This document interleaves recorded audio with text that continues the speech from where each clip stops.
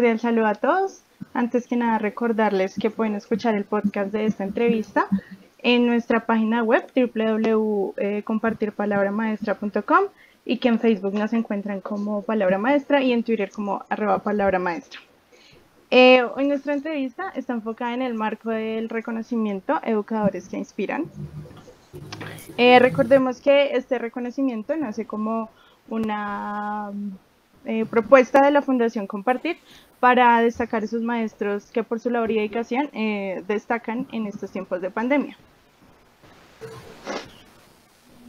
Entonces, Andrés. Perfecto. El día de hoy eh, nos van a invitar, nos están acompañando Paola Catalina Núñez, directora de la institución educativa rural El Poblón en Bucaramanga, Leonardo Palomino, quien es docente de la misma institución y hace parte, de la red de maestros de la Casa de Coco. También nos acompaña Silvana Gómez, docente del Colegio de Amazon Zapata CBB, si no estoy mal. Eh, ella cumple también el rol de coordinadora didáctica de la Casa de Coco y también nos acompaña Erika Angulo, coordinadora pedagógica de la Casa de Coco y docente de la institución educativa El Paulón. Ellos se postularon a este reconocimiento en la categoría de rector rural y su institución educativa con su propuesta de la Casa de Coco, una estrategia de radio educativa para fortalecer los procesos de escolaridad en casa, iniciativa de la que hablaremos bastante más, más tarde. Entonces, eh, educadores, bienvenidos a este espacio con la Fundación Compartir. Muchas gracias Andrés, muchas gracias Andrea eh, por este espacio para, poder compartir lo que ha sido para nosotros una experiencia magnífica de crecimiento y de aprendizaje en esta época tan particular que hemos tenido que vivir. Bueno, profes, entonces si quieren para comenzar, hablemos un poquito del contexto educativo en el que se encuentra la institución en la que ustedes eh, laboran. ¿Cómo es ese contexto socioeconómico y, digamos, hablando de tecnología de los estudiantes? Bueno, el Centro Educativo Rural El Paulón es, como su nombre lo indica, una institución oficial que hace parte pues, de, la Secretaría de Educación de Bucaramanga como entidad territorial certificada. Eh, una institución que pues, es muy, muy especial, está en un contexto rural. Es un colegio donde atendemos población escolar de preescolar y de básica primaria. Es decir, nuestra población es netamente de primera infancia e infancia. Tenemos en este momento 258 estudiantes distribuidos en dos jornadas, eh, un equipo maravilloso de 11 maestros, un auxiliar administrativo, una directivo docente que soy yo. Eh, que les cuento, es eh, un colegio pequeño, pero pues para ser rural realmente podríamos pensar que es un colegio grande.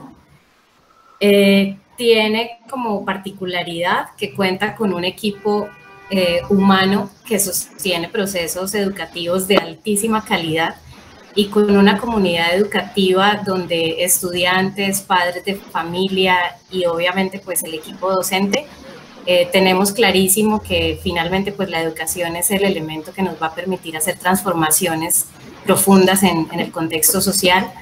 Entonces creo que somos todos afortunados de compartir esta, esta visión con claridad. Tenemos papás absolutamente comprometidos, estudiantes felices de estar dentro del sistema educativo y sobre todo maestros absolutamente entregados a su misión con una vocación profunda, con una actitud de servicio increíble. Y pues bueno, yo me siento más que honrada de estar dirigiendo este trabajo y esa comunidad educativa. Perfecto, pues entre ese, entre ese equipo tan entregado que cuentas tú, quiero que me hablen de, la propuesta Andrés, se te está cortando. ¿Se me están recortando? ¿Me escucharon bien? No. Ahora sí. Creo que ya sí. Bueno, pues que eh, Paola se nos fue Silvana. Esperemos a ver. Hoy ha habido acá en Bucaramanga algunos problemas con la luz. De hecho, les cuento que hace media hora estaba justamente al aire la casa de Coco mm. y se fue la luz en la emisora. Ah, pues. Entonces, eh, les pido excusas si esto pasa, pero es frecuente que aquí estas cosas ocurran. Ahorita hablaremos de eso. Entonces retomo. Hola, tú nos hablabas ahorita de, de, lo maravilloso que es contar con un equipo entregado de docentes y tú como directivo, pero ahora quiero que me cuenten ustedes qué es la Casa de Coco, cómo surge esta estrategia y de qué forma ustedes articulan un trabajo, porque cada uno tiene, tiene su perspectiva y su visión de mundo, pero cómo articular esta visión y cómo articular el trabajo del día a día para entre todos generar eh, esta propuesta tan bonita. Bueno, pues es una articulación que surge en primera instancia del reconocimiento de un contexto muy particular eh, y digamos que en segunda medida a, a, ese reconocimiento inicial del contexto pues se suma el reconocimiento de la infraestructura que creo que es la que realmente soporta cualquier tipo de proceso eh, de transformación que es la, la infraestructura humana. Entonces, Entonces, voy a hablar un poco de esos dos aspectos y ya creo, creo que doy espacio a que mis demás compañeros pues también conversen respecto a esto. Eh, las condiciones de infraestructura que tenemos en el colegio eh, a nivel de tecnología eh, son bastante complejas. Creo que son condiciones que comparten muchos estudiantes que se encuentran en las zonas rurales de Colombia y no solamente en las zonas rurales, sino en zonas, digamos, que pueden considerarse vulnerables en muchos sentidos. en el Paulón nuestros niños no cuentan con conectividad permanente, la institución educativa la tiene porque la administración pues ha tenido un compromiso grande en este sentido, pero en sus hogares, que en este momento pues son, pues prácticamente las aulas de clase de los niños, no hay conectividad. Entonces, em, a nivel de infraestructura tecnológica estamos en una clara desventaja respecto a otros estudiantes que de pronto por su ubicación geográfica o por las condiciones socioeconómicas de su familia pues pueden tener mayores posibilidades para acceder a contenidos educativos eh, por mediación de la tecnología. En el Paulón no es así. Nosotros contamos por familia con un dispositivo móvil, un, un dispositivo telefónico móvil por familia. Esa es la realidad de nuestros estudiantes del sector rural. Y como te digo, pues no es solamente el contexto del Paulón. Sé por el contacto que he tenido con los rectores de todas las instituciones educativas oficiales de Bucaramanga, que esta es una situación que se presenta en la mayoría de escenarios eh, de la educación pública en esta ciudad. Entonces, básicamente, esa es la infraestructura que tenemos a nivel tecnológico. Ese reconocimiento de ese contexto fue lo que de alguna manera dio eh, o marcó el punto de partida para empezar a pensar eh, en el tipo de estrategia que podíamos utilizar para llegar a nuestra comunidad del sector rural y a los niños de diversas zonas de Bucaramanga, eh, utilizando una estrategia que realmente nos permitiera acceso y que obviamente garantizara la permanencia de los niños en el sistema. Eso fue de verdad pues, para nosotros determinante en la etapa inicial de planeación. Y te mencionaba pues que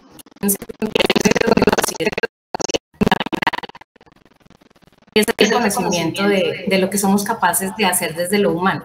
La infraestructura humana finalmente es la que creo que nos ha demostrado en este momento que realmente soporta y mantiene arriba eh, el ánimo, la permanencia de los niños en el sistema, o sea, son los maestros, son los directivos, es el compromiso de la gente. Fíjate que ni siquiera es la infraestructura de la tecnología ni la, ni la infraestructura física, de hecho, el mismo momento histórico que estamos viviendo nos muestra que la infraestructura tecnológica que nos está permitiendo llegar a nuestras comunidades es la infraestructura de la radio, una infraestructura que no es la que se considera como la más avanzada, pero tal vez eh, en esa sencillez está validada y tiene pues un, un recorrido histórico, no solo en Colombia, sino a nivel del mundo, y es la que nos ha permitido llegar. Entonces es reconocer el contexto, saber que finalmente hay que volver a lo simple y reconocer el gran potencial que existe en el talento humano.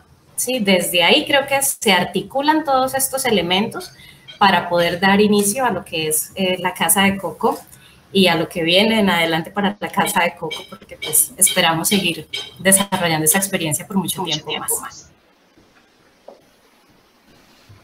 Quisiera ampliar un poquito lo que dice Paola. Eh, buenos días para todos. Eh, y es que eh, no solamente las instituciones rurales carecen de estos recursos y, las comunidades en general, no solamente las rurales, son las que carecen de este tipo de recursos. Eh, en el 2018, el DANE hizo la última gran encuesta nacional y para saber los datos de conectividad que arrojaba son alarmantes porque en las comunidades eh, urbanas, eh, en esa encuesta, el dato que se arrojaba de acceso era de cerca del 63% y para las comunidades rurales el 23%. Pongamos que en estos dos años haya aumentado mucho, 10 puntos para las comunidades rurales. Entonces estaríamos hablando de que aún así menos, de la mitad de la población em, tiene realmente recursos y medios de conectividad. Y hoy en día que nos vimos volcados a la necesidad de escolaridad en casa, porque no podemos hablar de, de educación virtual, pues estos recursos como la radio eh, se convierten en un aliado estratégico para que nosotros como maestros podamos seguir ejerciendo nuestra labor en medio de estas dificultades. Vale, perfecto.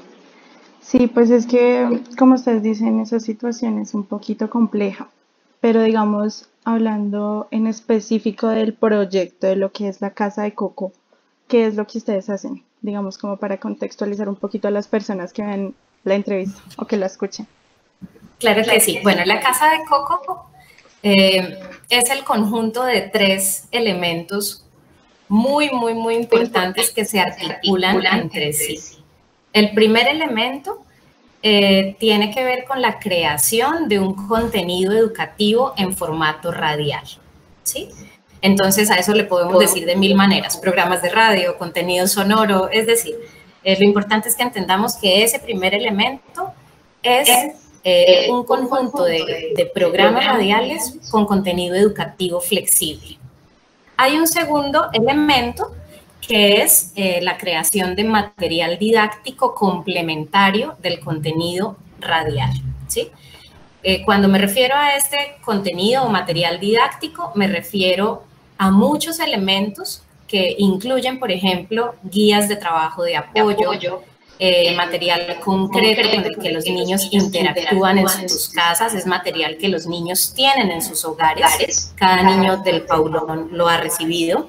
Eh, tienen su teatrino, tienen loterías, tienen tarjetas de retos, tienen tarjetas de seriación. Aquí Erika y Leonardo les están mostrando un poco eh, lo que se refiere, digamos, a, este contenido didáctico, a este material de apoyo, con el que entramos a enriquecer el, el, primer escenario, que es el de la creación radial. ¿sí? Entonces, tenemos ya dos eh, elementos que empiezan a articularse entre sí. Y hay un tercer elemento que considero tal vez es el más importante de todos porque es el que permite la articulación real de todo el proceso y es la constitución de la red de maestros amigos de Coco.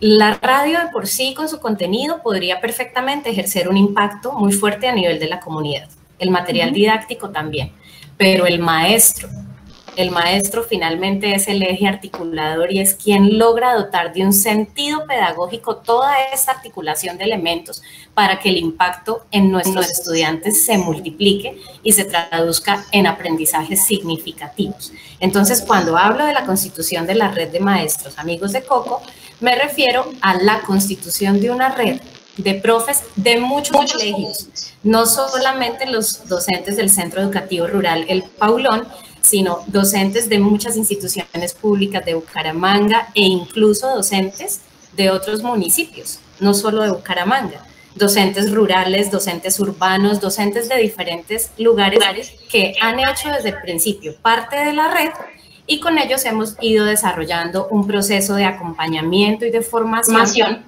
para que la estrategia, pues como les decía, empiece a generar un sentido distinto es importante mencionar que este sentido también es, es importante irlo construyendo con los maestros.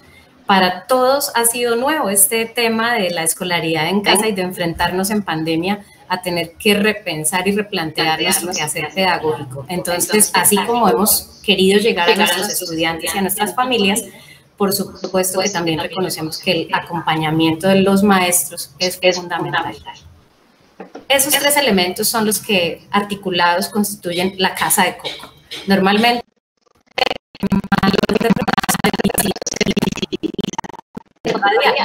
Entonces la gente dice, sí, la casa de Coco es radio, es radio educativa, pero realmente es mucho más que el contenido radial educativo que se ha creado. Ok, creo que Silvana querías agregar algo.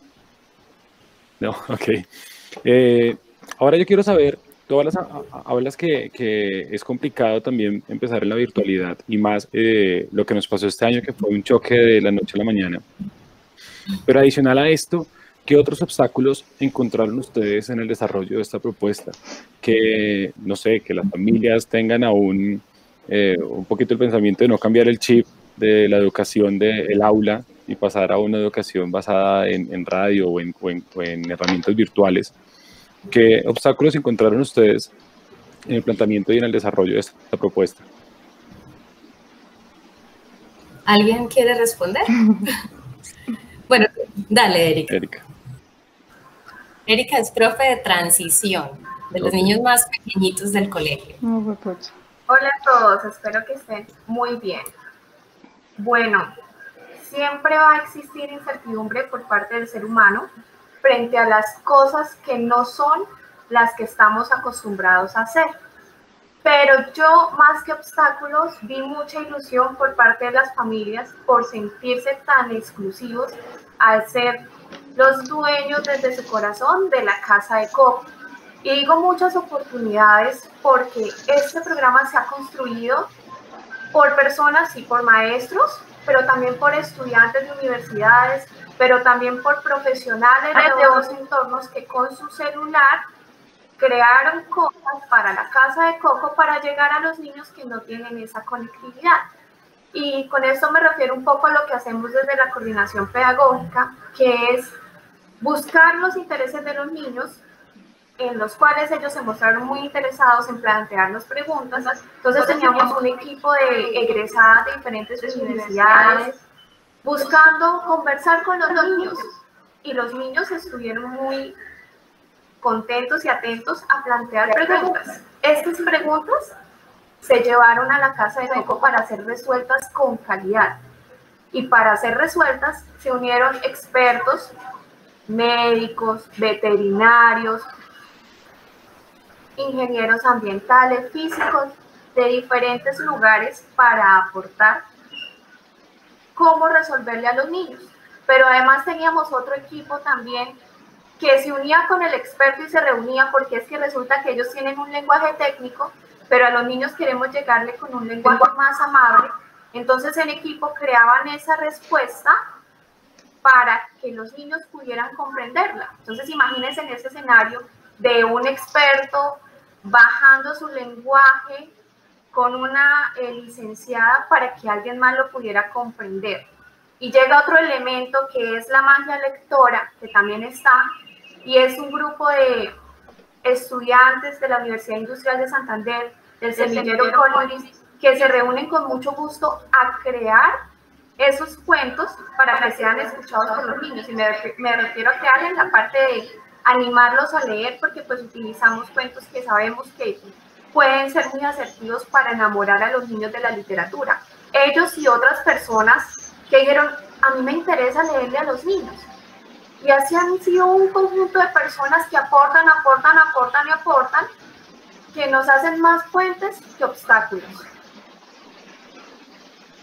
Okay. Yo quisiera complementar algo respecto a lo que Erika dice, y es que eh, siempre he percibido como que este caimán que tengo acá, o sea, nació con un superpoder de empatía.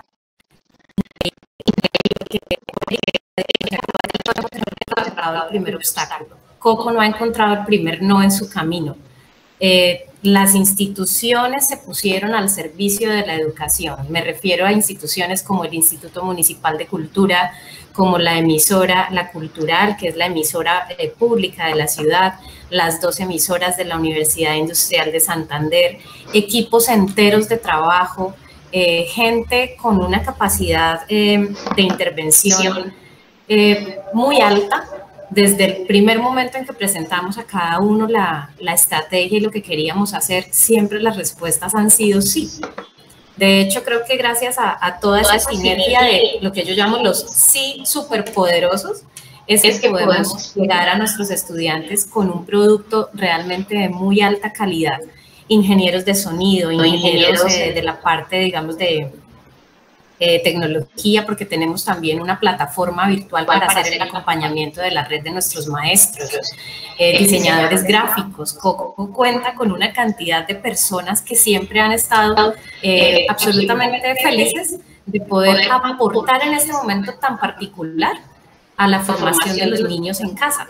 Entonces creo que es un poco la conjugación de un momento histórico que nos llama a la solidaridad, que nos llama a la empatía, que nos llama al servicio y al mismo tiempo pues una capacidad de gestión que empieza a, articular, a articular intencionalidades y finalmente todo esto pasa como, como Erika bien lo dice, o sea, se unen una cantidad de personas con su, con su sí y esto sale y sale de una manera fascinante. Claro, perfecto, sí. Y como, bueno, como, dijo la, la profe Paola y la profe Erika, han sido más los aportes que, que digamos, las, los, los obstáculos, ¿no? Entonces eso mismo lo lleva a uno a aprender, ¿no? A, a, obtener aprendizaje de las experiencias. ¿Cuál dirían ustedes que es ese aprendizaje que tuvieron como educadores, digamos, eh, en un contexto en el que metamos eh, la pandemia, la casa de coco, y ustedes que que, han desarrollado esta experiencia, ¿cuál dirían que es ese aprendizaje? Pues me gustaría que cada uno diga lo que le parece. Voy a arrancar desde mi punto de vista. Las, los aprendizajes más significativos son dos. El primero es el poder inmenso que tiene el trabajo de equipo, entendiendo como trabajo de equipo la, la interdisciplinariedad. O sea, no un colegio centrado solo en sus eh, en sus componentes, digamos, más, más naturales, sino un colegio abierto, un colegio que se abre a la comunidad, un colegio que entiende que finalmente puede conectarse con el mundo entero si quiere hacerlo. Esa, esa primera sería, mm, digamos, mi aporte respecto a lo que considero un gran aprendizaje, el poder del trabajo en equipo y en segunda medida el poder también tan grande que tiene la flexibilidad. O sea, cuando logramos flexibilizarnos y entrar como a, jugar con lo que son nuestras estructuras mentales y de, de qué hacer más rígidas, entramos en sinergia con el mundo y es como que todo empieza a fluir y sencillamente en ese fluir las cosas se van dando de la mejor manera. Esas son mis, mis dos aprendizajes grandes. Perfecto. Eh, Leonardo. Bueno, desde la red de maestros eh, hay un aprendizaje bastante significativo y es ese trabajo en equipo.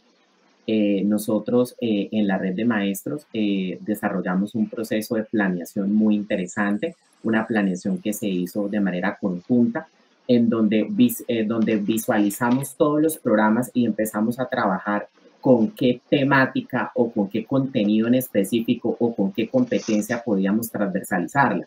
Entonces, de ese trabajo en equipo eh, surgió que cada docente pudiera eh, finalmente aterrizar la misión en unas orientaciones pedagógicas pertinentes para los estudiantes, porque pues la idea es que también eh, el programa de radio se acompañe con una serie de orientaciones pedagógicas de parte de los docentes. Entonces, ese trabajo en equipo, digamos que se ha generado en esa red de maestros, ha sido fundamental para poder, digamos, llevar a la realidad del programa La Casa de Coco. De igual manera, también eh, los profes han aprendido eh, a expresarnos a través de videos, a través de audios, a través de infografías, para poder llegar a los estudiantes, para poder conectarlos y sobre todo para poder motivarlos a que ellos escuchen el programa y a que ellos continúen con su aprendizaje, pues en este momento desde casa. Listo. Silvana. Gracias. Yo pienso que en educación los cambios se dan muy lentamente y en ese sentido el sistema educativo tiene grandes deudas eh, con sus comunidades, con las comunidades que atienden.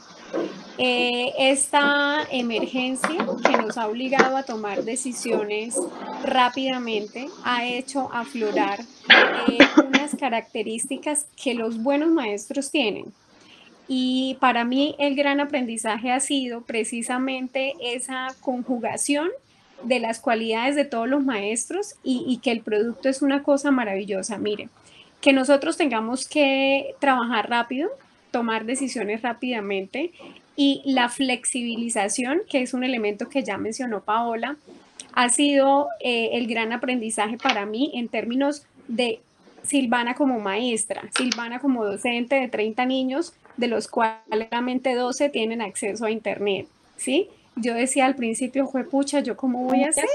Yo tuve incluso una crisis emocional porque yo decía, pobrecitos mis niños, cuando estamos hablando de educación virtual, mi, o sea, mi hijo, yo miro a mi hijo, mi hijo recibe clases desde su casa, desde su computador, desde su escritorio, todas sus clases, con todas sus, incluso tiene clases de educación física.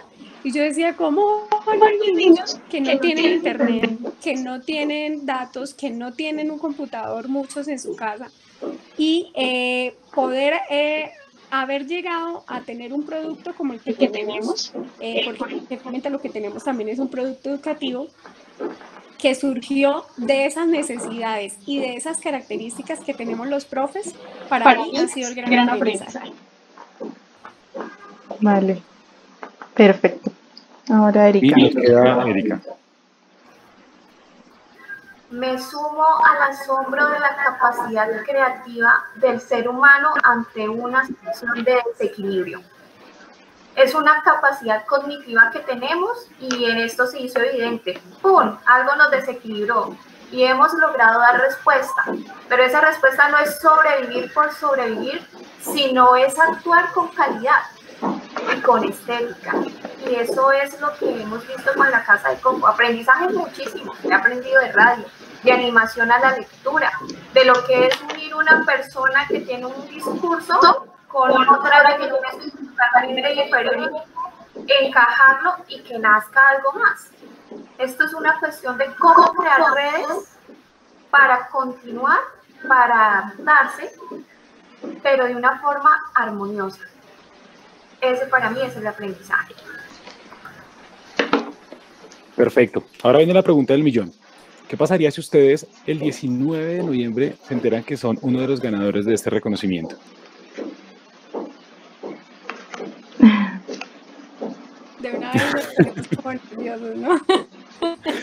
Entonces empecemos ahora a la inversa, empecemos con Erika. Uno de esos profes que destacan, a ver. ¿Qué pasaría? A ver, pregunta sorpresiva. Pues nos sorprenderíamos. Creo que es la misma emoción que da eh, en este instante cuando se plantea la pregunta, porque son cosas que si suceden es maravilloso, pero que vienen como algo que no estaba premeditado. Nosotros iniciamos a Coco por los niños, para los niños, para los maestros. Y en el momento en que Coco salió al aire en el primer programa, ya nos sentimos enriquecidos y ganadores de alguna forma por haber logrado dar respuesta a esto que está sucediendo. De ahí para allá, todo lo que nos ha llegado desde la felicitación de un niño que nos escribe a la Cocolínea diciendo que quiere escuchar a Coco, para nosotros ya es motivo de alegría. Y mire, me escribió este niño que le encantó. Entonces, en esa misma emoción entraría ese, ese triunfo si lo llegamos a obtener. Ahora vamos con Silvana. Bueno, eh, cuando nos enteramos de la nominación, eh, yo pues les hacía la reflexión a mis compañeros de que para mí ya eso era una gran satisfacción, sin, sin caer en el cliché de Maturana de que me perdí un poco, pero el solo reconocimiento y el saber de que hay personas e instituciones poniéndole el ojo a proyectos como este, porque yo sé que somos muchos en el país y en, y en toda Latinoamérica los que estamos haciendo pequeños esfuerzos que traen finalmente grandes resultados. Entonces, en ese momento para mí, yo les decía, ya es una gran satisfacción. Ahora que nos digan, no, mire, ustedes ganaron, pues no, pues mucha más satisfacción. Y, y me parece que es una ventana importantísima para este tipo de iniciativas. Listo. Ahora Leonardo. Bueno, eh, sería una gran motivación, aunque como lo mencionan Erika y Silvana, ya es una motivación todo lo que hemos logrado, pero pues finalmente sería esa oportunidad a continuar trabajando, a seguir motivados, a seguir, eh, digamos, motivando a la comunidad para que estén ahí, para que estén junto a la radio. Y pues finalmente eso es lo que pienso, o sea, sería como esa motivación para continuar algo que estamos haciendo muy bien.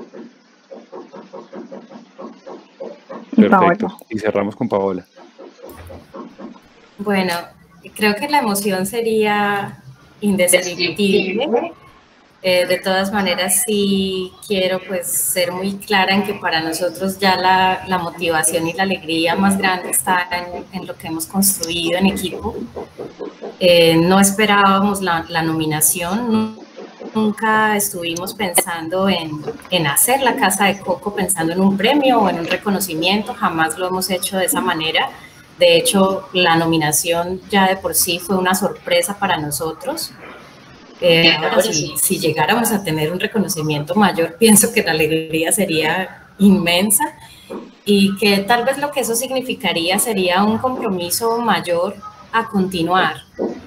Eh, desde mi campo de acción, pues que es la dirección educativa, creo que el compromiso estaría en seguir haciendo eh, visible esta estrategia y en continuar de pronto eh, pudiendo lograr algún tipo de gestión para hacerla pues nuevamente como sostenible, porque realmente si hay algo que, que de pronto nos ponen en riesgo de no poder continuar es justamente la, la sostenibilidad que implica todo el, desarrollo técnico para poder crear este producto de tan alta calidad.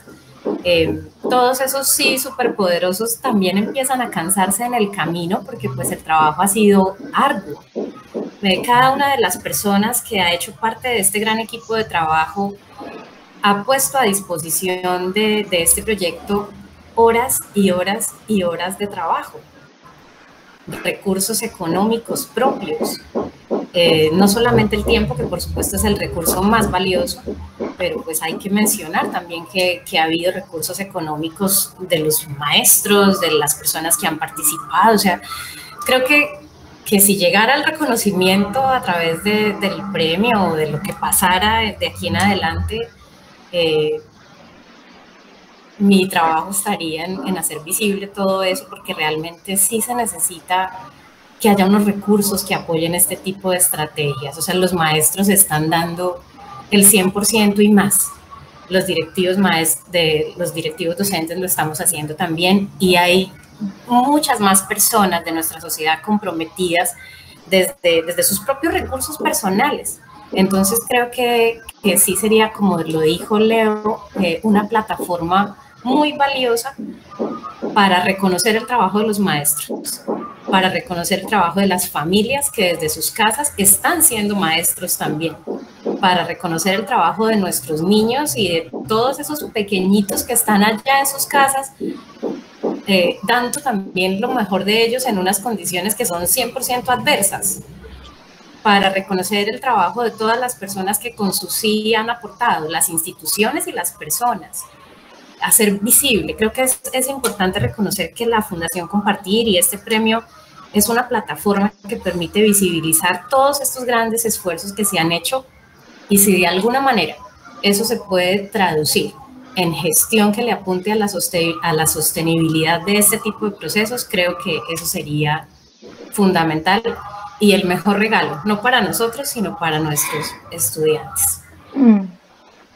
Perfecto, pues de verdad a ustedes muchas gracias por aceptar esta invitación, por el tiempo y sobre todo por ese trabajo que día a día hacen por los estudiantes, por crear estas iniciativas inclusivas y por cada día eh, eh, aportar un granito de arena para un país mejor. Sí, muchísimas gracias, de verdad. Es nuestra misión y lo hacemos con vocación profunda. Creo que eso ha sido también determinante.